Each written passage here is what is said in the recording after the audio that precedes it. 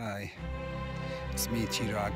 Uh, I'm a mountain tour guide uh, from northern Pakistan. So behind me, you can see the beautiful view of uh, the apricot blossom. Stunning view everywhere. You can see the beautiful peaks behind it. This is that famous peak Allahabad, but the 4,000 or 5,000 5,000 meter high from the sea level. And you can see the gardens here, apricot gardens. It's amazing view. Oh my God. Definitely is oppressed in nature. Gilgit Baltistan, westernmost side.